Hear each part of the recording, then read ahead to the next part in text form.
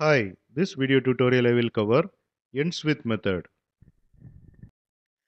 In ends with method, I am passing the suffix Peter. This method will check whether the suffix Peter is present in this string or not. If it is present, then it will return true. If it is not present, then it will return false. Here I have declared the class ends with demo. It has main method. First I will run this program, then I will explain. Here you can see the output.